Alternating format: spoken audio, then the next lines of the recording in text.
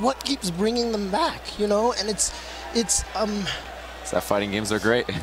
fighting games are great and I, I really do have I want to repeat a quote from our good friend Z because he said this a few years ago and it's always been one of my favorite quotes and you know you wonder why these people come back and year after year to play and he said Evo is love Yeah. L O V E if when you hold that L and run it back Evo Yeah. and that is the best way to put it. Evo is love. The people come back because this event is unlike anything else in the entire video game world. Yeah. I mean, it's been an incredible year. Thanks for joining me as always, James. It's good to have the tears this year. Yeah. Bring it in. All right. And thank you guys. Thank you everybody at home for watching. And we will see you again next year for Evo 2018.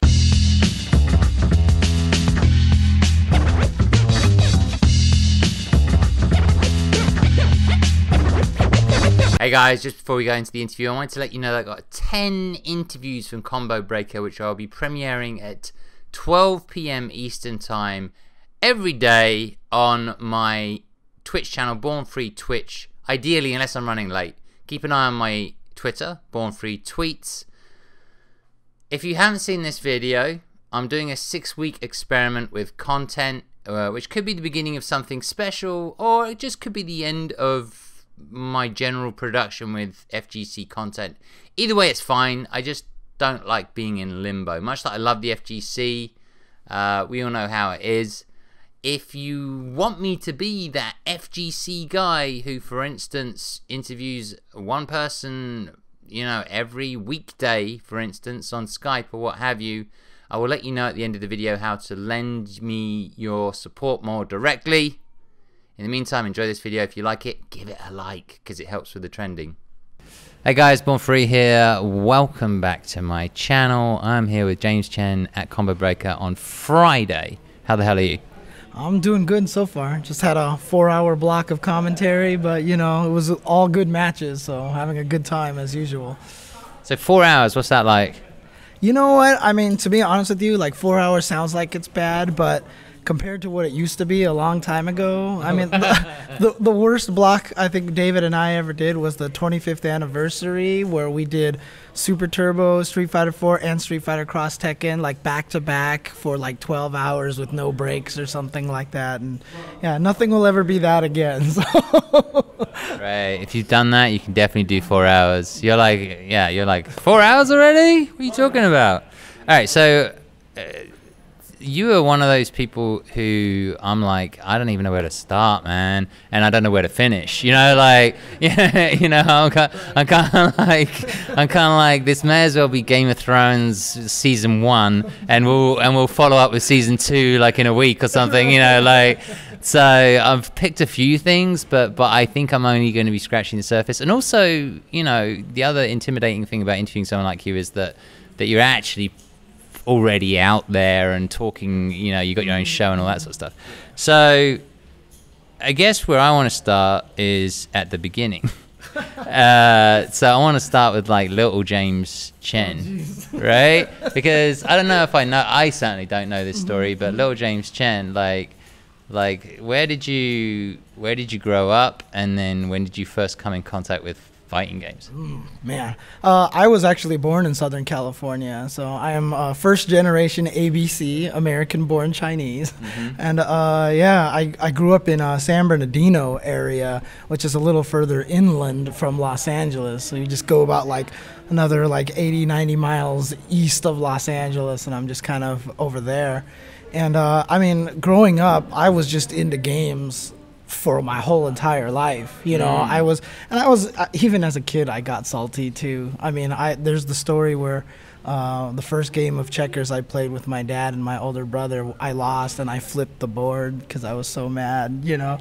So I've been this way my whole life, uh, but you know, I've been playing board games. Like I played board games all the time when I was a kid, and I was super competitive in those. I would get mad every time I lost and everything, and then video games just started coming around, and it was just kind of like a natural progression Yeah. from board games. And you know, before video games were all one player stuff, right? Yeah, There wasn't a lot of competitive stuff, but then uh, my older brother was going to UCLA at the time, and UCLA had just the most amazing arcade at the time. And Street Fighter 2 came out while he was there, and he was like, "Dude, James, you gotta check out this new game. This is called Street Fighter 2 and whatever." And people were only playing it against the computer anyway. They weren't even playing against each Yeah, other. yeah, yeah. And so we found an arcade near where um, our parents lived, and then I would go visit my brother at on campus and head to the arcade and play there. So I just started getting into Street Fighter 2 very early on, just like from the get go. But it mostly started because my brother was telling me all about it because he had it at his arcade. Yeah, yeah. Yeah. So, uh, actually, did you play? What were you playing before that? Like, what were the earliest video games you were playing? Because I remember freaking my grandparents had like the ping pong or whatever the f- hell that ping pong game was. Yeah, Pong, I think it was. They like literally had a whole console dedicated to Pong, right? And that was really old school. Then I, I had an Atari with like Pitfall and all that crap. Like, well, what did you have? What were you playing? I mean, um, so the reason why I started getting into video games was my parents owned a Chinese restaurant. Yeah. And on Mondays, that was the day where the waitresses all had their days off.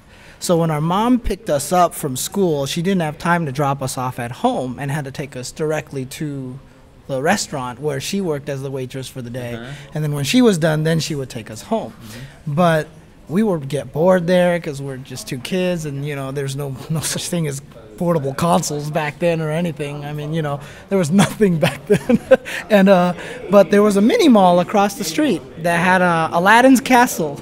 And a little arcade over there that had a bunch of video games over there. So our mom would give us a dollar, and we would walk over there, and we would get two quarters each mm. to go and play video games over there. And so, you know, man, I can tell you, like, I started on a game called Starhawk, which is this old vector graphics game which you couldn't die in. It was just based on a timer. And then I started getting into games like Dig Dug, and then I started playing all these just crazy elevator action. I played this game called Flicky. I used to be really into the Journey video game in the arcade. And eventually, like, I became one of the best at, like, Dragon's Lair at the arcade. Are you good at you good at that game? I couldn't figure that game out. yeah, so I was the kid that I would play the game. There was five lives. Yeah. I would get to the very last stage, and because the last stage was the longest, Yeah. you got the most points for it. So I would get all the points, get to the last move, kill myself, Uh. do the last stage again, get to the last move, kill myself, do that all the way until the last life, so I could max out the points. Yeah, and then Super Mario Brothers eventually came out on the in the arcades, and people don't know this, but Super Mario Brothers in the arcade was ten times harder than it was on talking Donkey Kong or Super Mario Brothers? Super Mario Brothers. Okay, I didn't know yeah, it was so much harder in the arcade than it was at in the home version, and I like beat that as a, I mean I was a little kid running around with a stool because I couldn't reach the joysticks, Yeah, yeah, and so there's this little kid on a stool playing Super Mario Brothers, beating it, and I just had this crowd of people watching me because they're like, Huh. look at this little kid beating games. That's fine. And then you know I did have an Atari 2600. I was obsessed with adventure Yeah. on that on that console. But then eventually, the Nintendo came out, and then that's just kind of when the whole gaming thing just went Mm. nuts at that point. So Yeah, we, we I didn't have an Nintendo. I had, a, I had a Sega, but yeah, that was a. I used to go and play Duck Hunt in the local. There was a shop where you could play Duck Hunt, so everyone, all the kids, just used to go there. It was actually a pharmacy or a chemist in the UK. And you used to go upstairs in the beauty department, and then there was electronics department, and then all of a sudden there was just Duck Hunt, and everyone could play it. It was like you know, it was cool. Um, so you got into fighting games. Um, so let's talk about James Chen, the player, Okay. right? Because you got into fighting games, and then, like, it seems like California was an extremely good place to be in regards to, like, uh, you know, the fighting game community or something that developed into a community or whatever. What, what, uh, when did you start competing, and what characters were you playing, and and how successful were you? I mean, very early on, it was like me and my brother and like a couple of other guys were the best at that local arcade that we found uh, in San Bernardino, and we thought we were the best. Like we were just like, oh my gosh, we're so good and whatever. And you know the the infamous Tomo Ohira, Yes. right? And Yes. uh, there was four. Was he in your arcade? Uh, he wasn't in our arcade. Oh, okay. But uh, they were in a place that was closer to Los Angeles uh, called Pico Rivera at a World's Finest Comics. And uh, they actually started driving around all of Southern California to let people know about the tournament. And they visited our arcade. Oh wow. And uh, like I said, we thought we were the hot shit, right? Mm. And then he, him, and another player named Tony Tsui came out, and they just wrecked us. Like it was like, to this day, I still think one of the coolest moments is when you find out you suck at a video game because it's mm. like, oh my god, the whole world is opening up. Like I, mm. there's so much more to learn about this game, you know. And that was kind of like the moment that we had when they just blew us up because we thought we were so good. Mm. And so we eventually went and visited that Pico Rivera tournament. And, you know, I've always described it as like, you know, in those James Bond films when you walk into Q's lab and you see all the crazy like technology and everything. That's kind of how it felt when we went there because people were just doing things in that game that we just didn't even think was possible. It just Wow. opened up our eyes to a whole new world. And so, you know, from there, I was never like one of the best at the fighting games. You know, I, I, through hyper fighting, I had a friend uh, named Roger Sahavo who uh, basically had a hyper fighting cabinet in his home. So we would go there in the summer and Mm. Oh, you did? yeah, Back yeah, it was crazy. He just had a his parents, I think, uh, got it for him. I don't remember. I remember back in those days, like those are expensive. I've never asked how. I was just happy he had it. So Yeah. yeah. So we would go there, play, eat a bunch of uh, you know pizza, and uh, his mom would make uh, Rice Krispie treats for everybody, and it was amazing. Yeah, that And- amazing. But uh, even then, like I wasn't super competitive until I finally ended up going to UCLA myself. Hmm. And once I went there, uh, I was just playing every day. I, I mean, like I was, I was that kid that tried to be good at school, but I kept ditching classes to stay at the mm. arcade and keep playing. You know, you would lose and get salty, and you're like, five minutes to class, one more game, one more game, and you know, you know how that goes. Yeah, I- I can skip this class. I'll ask my friend for the notes. You know. I mean, yeah, university is. I remember it well because like, my dad said something really stupid to me. I've never had this conversation with him. If he sees this video, he'll know. but he, I think he was trying to be cool at the time, or or he was trying to relieve my stress. But I was heading off to university, and he said to, I was like really stressed. I was like, well, I think everyone's just gonna be fuck, you know, everyone's gonna be nerds, and like they're, they're like, like, like, like they're gonna be really like into their, not like nerds, like video game nerds, like they're gonna be like Yeah. really into their work and like they're going to be like super intellectuals and like I had this really warped view of what university was and he was like Mark don't worry all you do at university is go to the pub and I took I, I actually he doesn't know this but like I took that as a green light to just get drunk a lot uh, you know so I wasn't heading to the arcade I was heading I was like another drink and okay today's so we're not doing today forget today but um I, I, I was the real nerd in college. different type of nerd. Yeah, but yeah, I yeah. didn't mean nerd nerd. Yeah, yeah. yeah, yeah, the video game nerd. Oh yeah. I mean, Um, all my best friends in college were from that arcade, so a bunch of them I still talk to today. You know. So with the, the Tomo thing, right? Because you always talk about Tomo, right? Mm-hmm. Um, did you become friends with Tomo? Like, was he going to the same arcades as you, or, or was it always like he was just known in the area as the best? Yeah, no, I, I never really got to know Tomo personally. We just Okay. knew of him. Like I don't even know if he knows who I am. You know, I, you know. So he was just part of that elite crew of that. You know, those guys that played. It was like him, Tony. Uh, there was another guy named uh, shoot, I can't remember all the names now.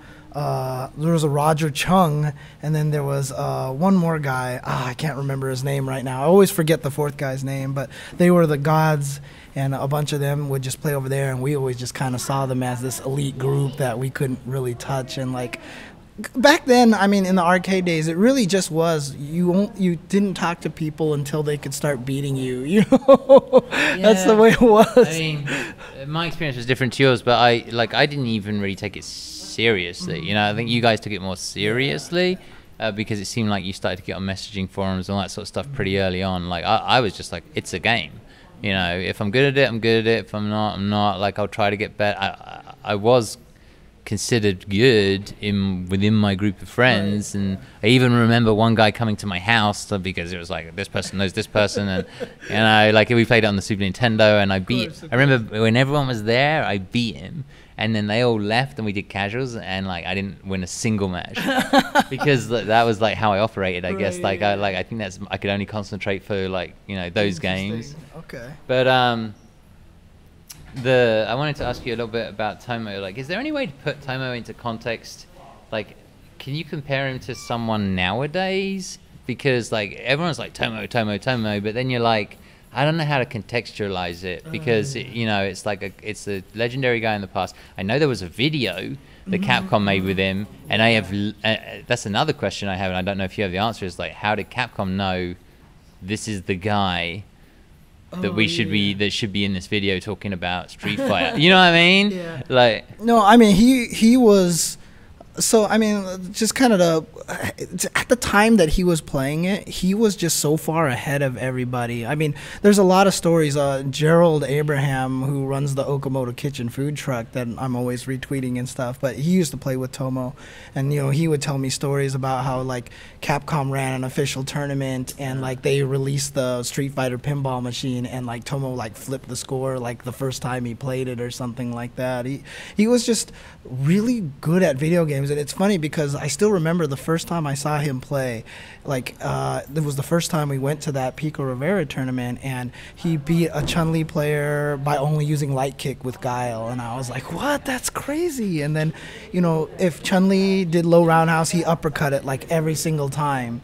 And if she didn't do it, he wouldn't whiff uppercuts. And I was like, how is he doing this? And you know, nowadays it's funny because like I I kind of can piece together what he was doing because we just understand fighting games so much better. The game was slower. There's a lot of like confirmation tricks that you can use and things like that. But he was just so ahead of his time he just knew all those tricks. He could figure out those tricks before anyone else could. You know, I'm not sure how he did it or or just why his brain worked that way. I mean, I know, you know, I, I have debates with people about this all the time. I, I truly believe if Tomo was playing nowadays and knew that the money existed and had access to training mode and all that stuff like that, he would be one of the best. I, I, don't think he would be like the best, clearly, but he would definitely be able to compete with everyone if he had just kept playing because I don't know. There's just some sort of savant factor to him, and everybody was playing this game. I mean, back then, Street Fighter 2, everybody was. You could go to a random Yeah. store, and everybody was good at the game. They were doing all the high level stuff because you had to in order to play. And um, eventually, you know, Capcom would throw their own tournaments, and Tomo would go there and play, and he would win a lot of those tournaments. And so Capcom knew of him from there. And uh, you know, and I think uh, he had a manager at Pico Rivera. Oh, wow. Yeah, and so like I think they worked it out for as a deal to have him do that video with yeah. the with the '80s guy in the in the backwards cap. Yeah. yeah, yeah, yeah. Yeah, but there was just something about the way Tomo played that I just felt like was he was just he just knew a bunch of stuff that we know now, but he knew it back then before anyone else did. It's crazy. Oh, great game, Tomo. Thanks. You're getting better. Thanks. That's because along with all these great strategies, Tomo's taught me a method called the TDR. Timing, distance, and reactions. You need to pay attention to timing. By that I mean the timing of your attacks and counters. You need to know your distances. Know what moves will counterattack from a given distance. Once you got the timing and distance down, you can concentrate on the R, reaction. You need to develop reflexes so that you can react to what your opponent does automatically. So in other words, you have to practice to the point where the moves and combinations are second nature. So you can go beyond the technique and study the psychology of your opponent. Right, right. Then you can psych your opponents out with stuff you know they won't be expecting. You know, the same thing I'm always doing to you. I'm starting to hate this guy. Don't worry. This tape is going to give you tons of psych out strategies. I'm starting to like this guy. It's instinctively understood, basically. Yeah, yeah. Yeah, that's interesting. That's kind of how I think about Sonic, but the but I, but I still need to talk to Sonic about his his early days because I, I'm not sure. I don't know if he sees the Matrix or or if he's a hard worker or if he's both. You know? I mean, f- to be honest with you, you know, speaking about Sonic Fox, I just think he was just born into fighting games because his older brother played fighting games. Quiggle uh, is like a, one of the top uh, DOA players, and so I feel like Sonic Fox was probably playing him ever since he was a little kid, and so he's just been playing fighting games probably you know since he can first memory or whatever you know. So I just think his brain has just been shaped and honed in that direction, and so at this point in time, I, I feel like it is kind of like the Matrix for him. Yeah, I do too. I, do too. Uh, I mean, he certainly picks up really quickly. Now, which was your favorite? Do you still do you have like a favorite game? Uh, fighting game or a fighting game? It's Super Turbo is still my favorite. Uh, Oh, Super yeah, Super Street Fighter 2 Turbo because uh, you know that was the game that I first got really like stronger in, and did, okay. and it was it was also kind of like it's where I you know met Cammy essentially, right? And Okay. I used her because Yes. she she was the worst character in the game. Mm. I was a low tier hero back then. I always wanted to play the worst character because it felt good to beat people up with the bad characters. Yeah. And then at the same time, if you lost, you had the excuse. OS. Yeah, yeah, the option select. And so I played Cammy and I got really known for playing Cammy. I was one of the only ones playing her. And to this day, like for me, uh, I feel like I can't be good at a fighting game unless I keep playing it. I have to keep playing it and keep it in my brain. So nowadays, because I'm playing like 19,000 fighting games, like I can't get good at any of them. Mm. But Super Turbo, I will never forget. Like to this day, like Yeah, I can just in sit there- it's like riding yeah, bike, right? I can never forget how to play Super Turbo at this point in time, and so it's just that game is just. It also suits kind of the way that I think about fighting games, the way that I want to play. It's a very emotional game. A lot of games these days are more mathematical, more scientific, but Super Turbo is just like it's just I feel like doing this right now and I'm going to do it. And that's what makes that game so much fun for me. So I have a, question which is kind of, I mean, it's related to favorite game, but it, it might be that, you know, it might be that you have a different answer. Uh, are there mechanics? Because you've played so many games, right? Do you, are there any f- m- m- fundamental mechanics in games that are your favorite? Uh, that that stand out to you as like, so for instance, like, uh, actually, you know what? Let's narrow it down. Let's say there's a new iter- new Street Fighter, right? What sort of mechanics would you like to see implemented? Like, if it you were like head des- game designer, what would you what would you want to see implemented in that game? I mean, I would put back invincible uppercuts. uh, I love invincible uppercuts. I think they change a lot of the way games are played. Also, I really do miss projectiles being very powerful. Zoning, yeah. Yes, because Super Turbo, the projectiles are so powerful. So what happened was a lot of times when you look at a fighting game, uh, most fighting games these days are kind of close range based, right? But this full screen distance isn't as impactful as it is as it was back in the Street Fighter 2 days. Back then, being full screen away was its own game. And then when you would get closer, it was like kind of a different game, and different characters would play different ways that way. And I kind of miss that aspect, you know, of, of having the distance matter that much more. I, I feel like there's some games, like NRS does a good job with that. Well, I mean, MK11 doesn't have as much as zoners, but like Injustice 2 had some really good zoners and everything. So I really was, you know, fond of that kind of, uh, you know, uh, game design. And I feel like the, the projectiles have gotten weaker. And, you know, I understand why, because people feel like, oh Oh my God, you can't play for real. You're just throwing fireballs. You're not actually fighting, you know, and it, it makes people salty and it makes people mad. But, you know, I, I honestly do miss the, the, the strong projectile play and the, you know, I've got full screen Honda headbutt and Blanka charge moves, you mm. know, and, you know, just having the full screen distance still be a viable distance for fighting. And so I would probably try to bring back a little bit like some characters that are stronger zoning, some characters who have, you know, really good, you know, control of the whole screen and everything like that. Because even though I like playing rushdown characters, zoning characters always kind of fascinated me in a weird way. Yeah, I don't think it's weird. I, th- I think that's uh, it's art. It's it's it's an art form. It's a skill. It's something that you learn. You know. Um, on that, they had asked Daigo the same. I say they. The Stream Stream Monsters had asked Daigo the same question. I saw this on FGC Translated. like everyone loves that new channel. Go check it out. Um, you know, what do you want to see in Street Fight Six? And he had said he didn't want to see like the comeback mechanic. Like, he- you know, obviously there's one in Street Fighter. Four, and then there's a much much bigger one in Street Fighter Five, to the point where like when I used to play Akuma, I used to be like, hit me, because then we start. You know, um, how do you feel about the comeback mechanic? Do you do you think it's hype, not hype, can be hype? What do you? I mean, what are your thoughts?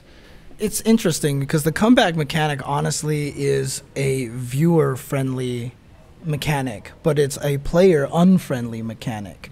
You know, for viewers, I think uh, comeback mechanics are amazing. I mean, X Factor and Marvel versus Capcom 3 was one of the biggest comeback, you know, crazy comeback factors, and the audience would go nut, nuts when you saw someone do a one character, you know, X Factor comeback, but the players would just be like, oh God, I'm so mad. I'm so mad about this. You know, so I think there's a good balance between the two you know, uh, for me, again, you know, growing up in the Street Fighter 2 games, I always joke that the comeback mechanic in those games is the game because just the damage is so high. Like, uh, the stun was basically kind of like the comeback factor in those games because if Ken hits you with a low short, that could be it in hyper fighting. Like, he could be losing the match down to another, like a pixel, and you have a full health bar, and then he throws you once and he hits you with a low short and you don't block that when you get up you're dead. That's it. The game is the, the round is over. It's just because the damage is so high so but i mean I, as a player like i would want i would want to find the right balance as a player and as a person who would like to see more viewers get into the game.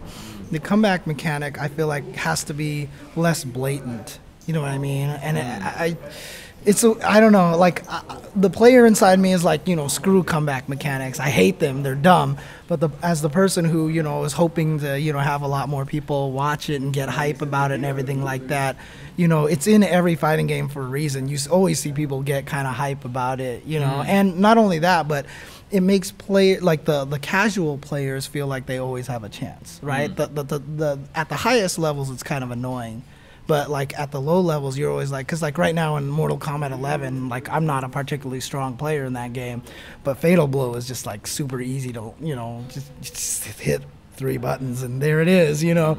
So like i'm losing these matches and i'll just like walk up to someone and fatal blow and i hit them and i'm like yes i'm the best you know? And like really i'm not but so i mean there's a interesting balance. There's a very uh, crucial balance that i feel like developers need to look at and just make sure that it's not super blatant of a comeback mechanic you know? That it's just not like this kind of robbery thing that is unearned. Like if there's a good way to make it so that it's an earnable comeback factor, you know that it's it's it is a comeback factor, but you it still requires some sort of skill and high level skill and strategy to, to, to make it work for you. I, mm. I think that would that would make a lot of players happier, even at the high levels as well.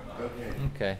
Yeah, I mean, it's you know we're not gonna solve it sitting here, but like it takes experimentation and people sitting in devs sitting in uh, rooms and brainstorming and testing and this and that and the other. Uh, I, I do want to add, though, you know, kind of going on what Daigo's saying and the question about what you'd like to see in Street Fighter Six.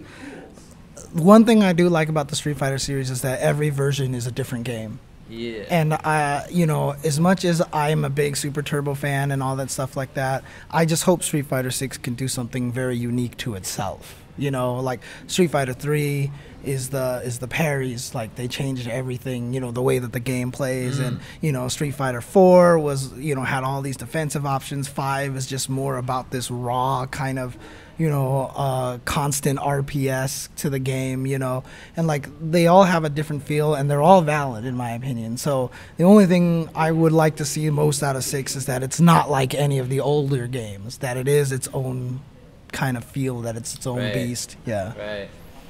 Yeah, it's interesting because I see a lot of people uh, sort of saying remake three, you know. Uh, so I guess we'll see what happens. Um, I I hope there's something in the works, you know, because I'm a Capcom fanboy. I am, you know. I just hope, I, but I'm fine with them taking their time, like, to get it right.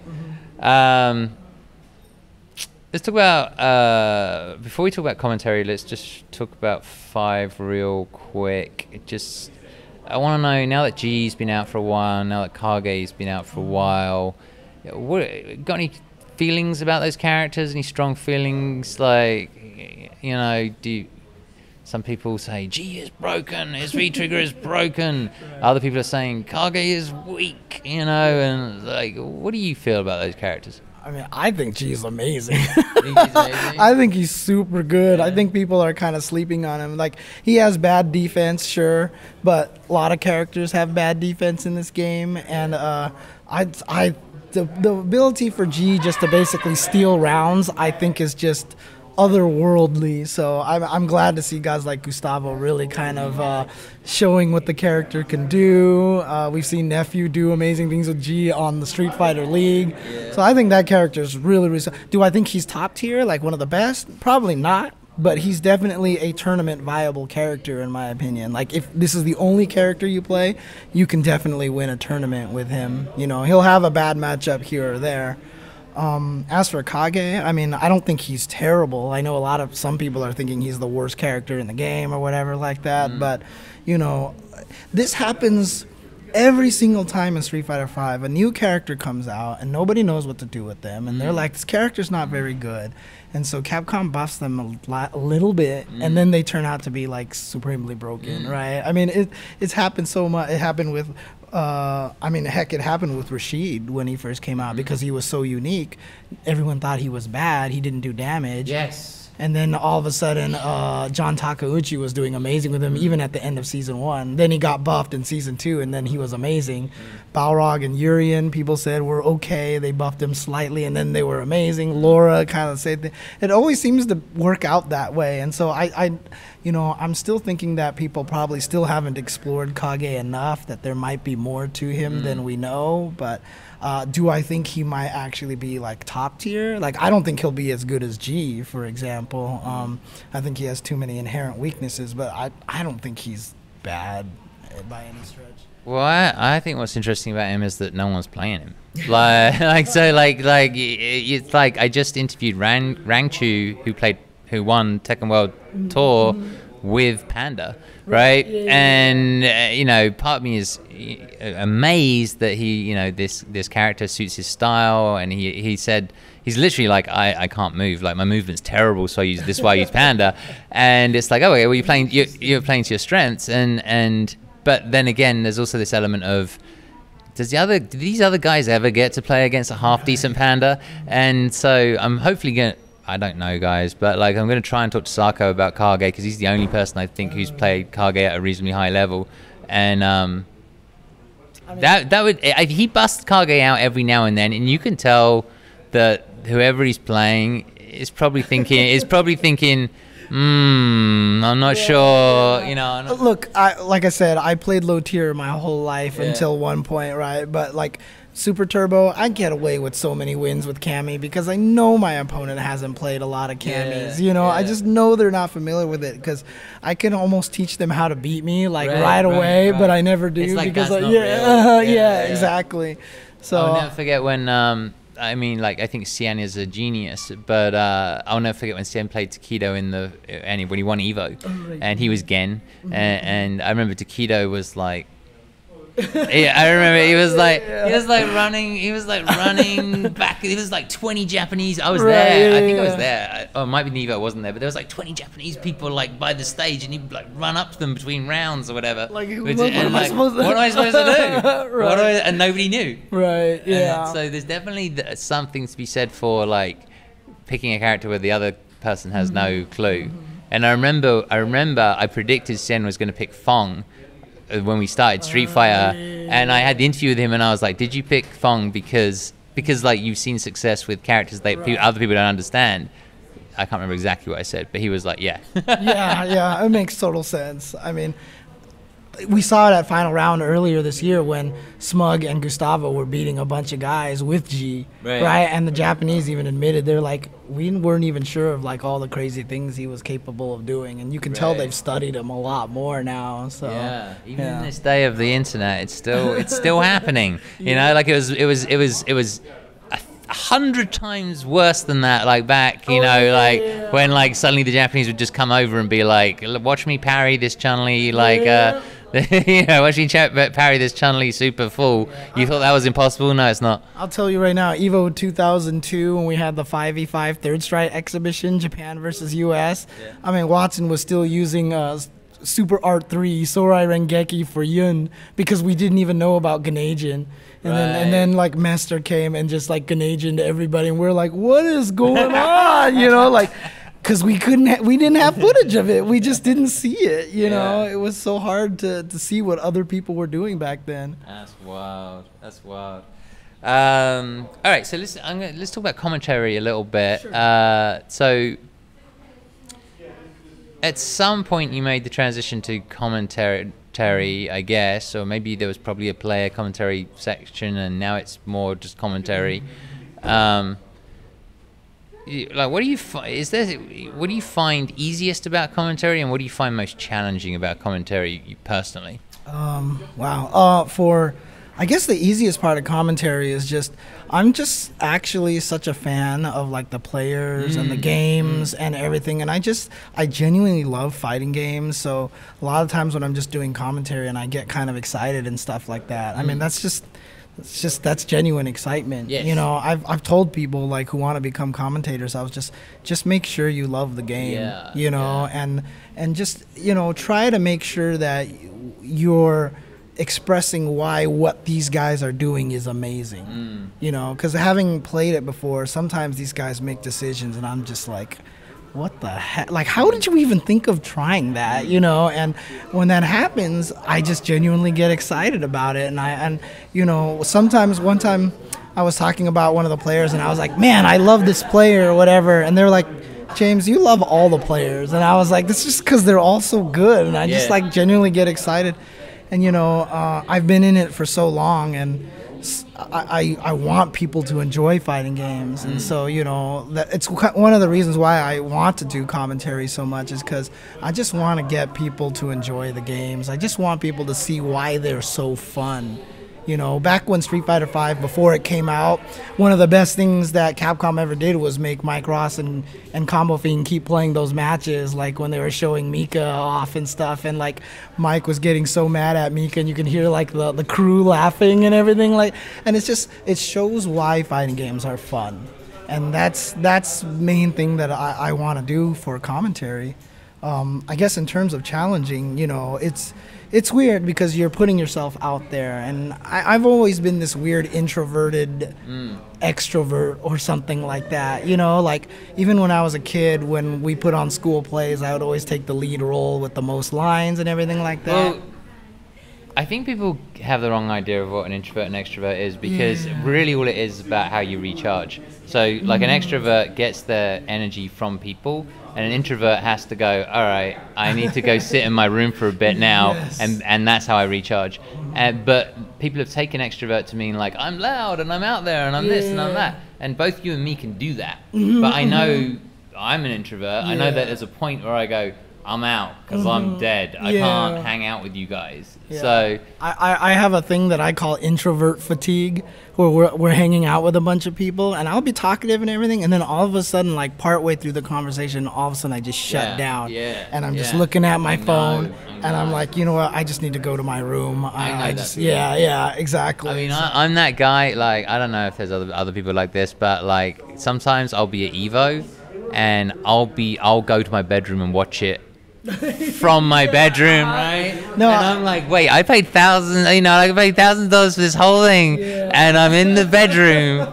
I mean, to be honest, it's one of the reasons why like uh, me and David work so well because he kind of has a little bit of the same thing, and so a lot of times after the tournament, we just go back to the room. We don't even talk to each Yeah, other. Like we're just hanging there, and it's like it's great, you know, kind Yeah. of thing. So. Yeah, no, I understand that. So, uh, all right. So the strengths and weaknesses. Do you have like a favorite memory in commentary? Uh, you probably have a lot. Um, and then I'll probably ask you for your worst experience. So let's think. Let's think about maybe like your one of your best experience, your best experience, and your worst experience. Interesting. Uh, I mean, honestly, you know, best experience. I mean, it's it's a weird one because like I hate when I get emotional at Evo, but at the same Ah, time, okay. you know, I- get emotional because it means so much to me. And when Tokido says like it meant so much to him, I feel like that's like, oh, see. I mean, I've always told everyone the reason why I got so emotional when Tokido said that is because that man's a legit genius, right? He got a mm-hmm. Tokyo University, could have did anything he wanted to in life and been successful. Mm. And he did fighting games. And when he won Evo, and he's like, fighting games are something so great. I'm mm. just like you know, for him it was worth it. You know, that whole journey was worth it and doing everything. And to me, that just like it hit me right in the feels, you know. And so, you know, I mean, that was probably, you know, one of the more memorable ones. Um, uh, in terms of like bad experiences with commentary, I mean, I don't know. There's like lots of different like little small things maybe, but So, all right, let me like you don't have to. I imagine that a bad experience in commentary might involve. I don't know. Let me pick some stuff here. Uh, not understanding what's going on in the brackets, which apparently still happens uh, in this day and age, which is really bizarre to me because I can't believe that's still happening. Uh, potentially not knowing the names of like little technical things. Uh, potentially, obviously, this one is a little bit more contentious because like you don't want to name any names, but like being paired up with like the wrong, getting the wrong chemistry going, stuff like that. Because it's you know it's your sort of it's in the end it's sort of your real like even if it doesn't end up on your reel, it's still out there. It's still in a moment where some people are seeing you for the first time. Like, like you, you must if you had those experiences where you're just like, get me out of here. No, uh, to be honest with you, I mean, if I think back at it, like I can't pick a specific moment or anything, but early on during commentary, you know, you're streaming to a very small group of people or whatever, so you're reading the chat the whole entire time and everything like that, and probably some of the hardest ones. There was a period of time where, you know, my commentary, I just started you know, trying to be knowledgeable without understanding things, and I was saying things that weren't necessarily accurate. But ah. but I was like, I want to make it sound like I'm authoritative, so I'm just saying things, you know, oh, this thing is punishable, and it wasn't punishable. You know, like you know, you say these kind of things, and you know, eventually it got to the point where I had a really low period of time where just like everybody hated me, right? Like everybody was mad, and so like I would read the chat, and there's mm. just like during commentary, people would just be like, this guy's an idiot and all this stuff. And you know like i said i'm super hard on myself. And so like when you read that it's just it's so hard to to handle. And like you know when you read that like i can feel myself shut down sometimes on commentary where like i just don't say anything anymore you know and like i said there and you know I, i've i've made sure to try to fix that i now if i'm not sure i just say i don't know you know and or and i've even Well, told n- now we can say like, hey chat, tell us. yeah, exactly. tweet me, tweet me the information. Yeah. But I used to be really declarative about things like, oh, this is this, and yeah, th- this is a bad matchup. It's not even a bad matchup, you know, like, and, and and and you know, I was very public about it too. I was like, I'm gonna fix this. I'm gonna change this. I know you guys are like all really down on me right now, but I'll fix this. And you know, and I started focusing on back to the I don't, you know, not necessarily authoritative, trying to be authoritative on knowledge, but just more like on. I I know my strength is the psychology, you know, where what people understand what they're thinking during the game. I've had a lot of people come up to me. They're like, "Man, I watched the commentary, and what you said about what I was thinking is exactly what I was thinking." You know, I'm I'm like really keen on that kind of thing, and so I've started to focus on that, and I think it's more fascinating anyway because to me, it's never going to be about the game. It's always going to be about the players. Mm. They're always going to be the most important people. So, like, when Dragon Ball came out, Sonic Fox GO1 drove the narrative of Dragon Ball. Storylines. Right? And. Right. And, and and GO1 entered MK11 here, and so like you're just like, yo, he's still going after so-. like it doesn't matter what game they're playing. Yeah. It's always about the players. So I, I, I would almost rather talk about the players now. So when I do commentary, I'm more just about like, oh, this look at this guy. He looks so you know confused or whatever, yeah. or like these guys had this history or this, and yeah. I, I, I love the human aspect of fighting games Yeah. so much, and that's kind of like what I like to focus on these days. I mean, definitely, there's a lot of like technical knowledge that I'd like to impart to Yeah, people yeah, because I just want them to understand what's going on, but. I'm not trying to be like the authority or be like that guy who knows all the frame data because that's impossible anyway. well, it's also, I mean, that that uh, the frame data piece, like there's only so much you, that you can do before it gets pretty boring, and uh, it's a small portion of probably nowadays it's a much smaller portion of the viewing population who care. Like they're like they do like the storylines, they do like the people, they do like psychology. That's why I do interviews, right? You know, and I don't I don't sit here asking people about, you know, what do you think about that move that can punish this move or that move? Like that's not what I care about. I care about the people and and helping create the storylines in a way or help people get to know people. So James actually has to go. Uh, he has to do commentary. We have to wrap this up right now. We can talk forever. We will talk again. It's uh, sadly I fucked up, and we actually recorded something quite funny, believe it or not. And uh, and uh, yeah, so thank you for Yeah. your time. I mean, look, uh, again, I, I wish we could, you know, I can talk forever, you know, not just even about the fighting game stuff, but, you know, I know recently you've been talking about like the emotions, the depression, that kind of thing. It's a topic that is very near and dear to my heart as well. So, you know, uh, I would love to talk about that. I feel like it's a conversation that needs to get out there and people need to talk about it more. So, I'm 100% with that.